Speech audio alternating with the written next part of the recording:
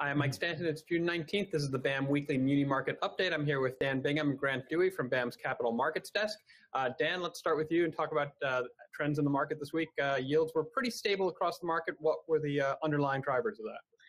Yeah, I think you know. I think we've uh, seen uh, some stability returning to the markets um, with the Treasury, ten-year Treasury, back to that 72 basis points and sort of maintaining a pretty tight range.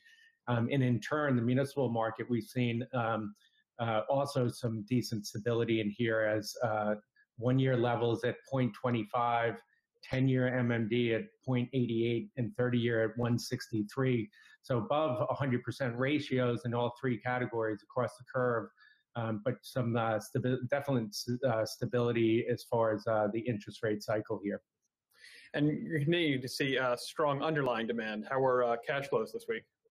So uh, flows uh, came in at 1.7 billion, continuing the recent streak that we've seen um, as investors continue to um, uh, get pushed out of other asset classes and are looking for some fixed income, uh, anything they can get some decent yields uh, in the market.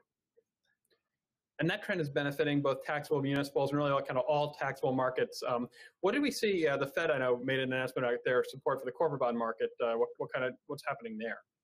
Yeah, the Fed continues uh, dramatic support for the, uh, various markets, including the corporate bond market. And this week they announced plans to, uh, where they had gotten authority to purchase corporate bonds. They actually came out and announced that they were going to going to buy uh, corporate bonds. So dramatic support for the corporate bond market. The municipal side has been faring, as I say, pretty uh, pretty well, and we've seen a pretty stable environment. Um, but the Fed support of the municipal market through the MLF, um, Illinois has been the only one to have borrowed through that facility for 1.2 billion. And while other municipalities, I think, are planning um, to, to borrow from that, it remains to be a very limited audience. And so, Grant, let's transition to you and talk about the new issue market. Um, new issue volume remained strong this week. Uh, the stable yields uh, were, were, flat, even though there were a lot of new issues pricing. Uh, what kind of dyna- dynamics have you seen there? Yeah, I mean, there's just still a lot of optimism uh, relating to uh, federal aid um, uh, and state and local governments. So, you know, really, I would say for June, there's been a lot of focus, been a very strong market for new issuance. We we continue to see. Um, penetration rates in the 10% range, as we've seen throughout June, which is quite a bit above um, kind of the average run rate that we uh, that we saw last year of around six and a half, seven percent.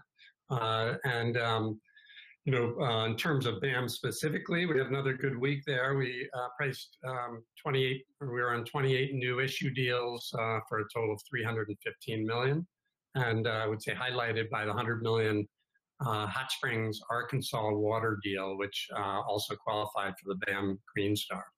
And we have a BAM Credit Insights video about that if people want to watch it. Uh, looking ahead to next week, uh, what does the calendar look like? So uh, next week is led, you know, the, uh, there's a little less supply. I mean, just on the 30-day visible has fallen from about 13 billion that we were seeing earlier in the month down to 8 billion.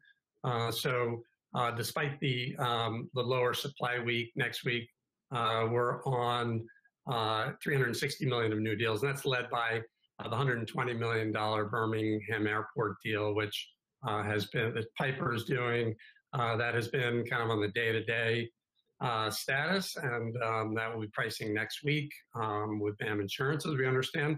I mean, to give you a sense of the market, there actually was a 360 million dollar deal uh, for secured by um, American Airlines price this week. So um, the market is wide open. Um, you know, the, the airport deals are coming, which we obviously consider to be a much stronger credit than the special facility bonds uh, backed by a single airline. But um, uh, but overall, continues to be a very strong market.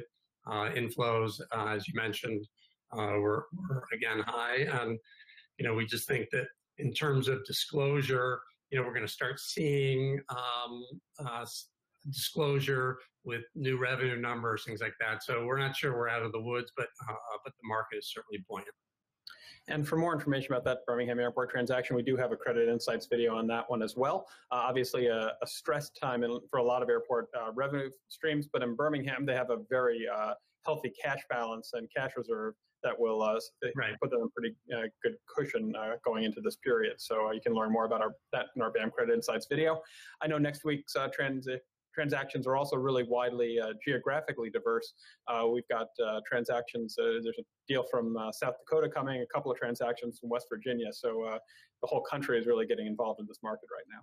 Right, yeah, those are states that we don't see much issuance from. Great. Well, thanks, gentlemen, for joining me today. We'll see you next week. Thank you, Mike. Great, thanks, Mike.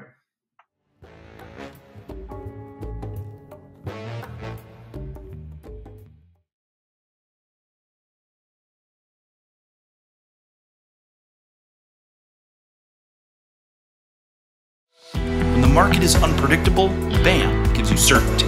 In the face of volatility and illiquidity, BAM insured municipal bonds deliver default protection, value preservation, and a durable AA rating from S&P. BAM's insurance protects against everything that causes a default, including natural disasters, financial fraud, pension issues, and economic disruption, like the one we're experiencing right now. BAM. Build America Mutual. Ask your broker about BAM insured municipal bonds.